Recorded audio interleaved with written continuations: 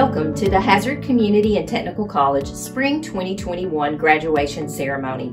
This event includes graduates from December 2020 and May 2021. Graduation looks a little different this year. Students have made appointments to walk through the ceremony and receive their honors and awards, take photos, and make lasting memories with their families. Congratulations to the graduates. You made it. You overcame obstacles such as juggling work, family, and even a pandemic. You've truly shown resilience. Don't stop now.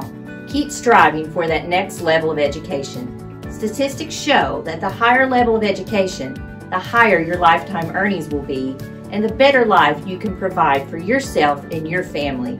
HCTC is proud of you, and we are still here for you if you have questions along your journey.